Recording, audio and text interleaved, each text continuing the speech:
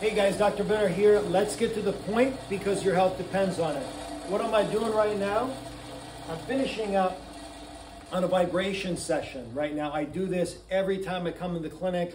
And what I want to do is I want to do a video series that's going to take you through the benefits of something that is simple as this, putting your body through vibration. So let's talk about a hertz range between 10 to 20 hertz.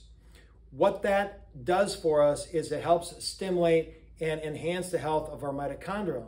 Remember, we are as only as healthy as our mitochondria. Mitochondria, these little organelles within our cells that run everything. It's what produces your energy. Without these mitochondria, you are dead. But the things that we do, as far as toxins, infections, bad nutrition, it causes these mitochondria to become dysfunctional.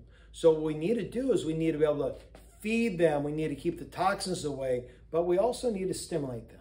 And doing things like simple things like this will help enhance your health by enhancing the health of your mitochondria.